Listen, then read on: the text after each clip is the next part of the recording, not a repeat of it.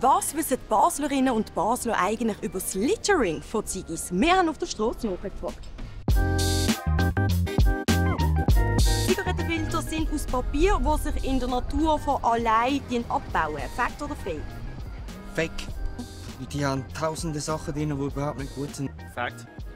Fake. Mach mal Fact. Ich denke, das geht nicht von allein weg. Fake, tatsächlich, das stimmt.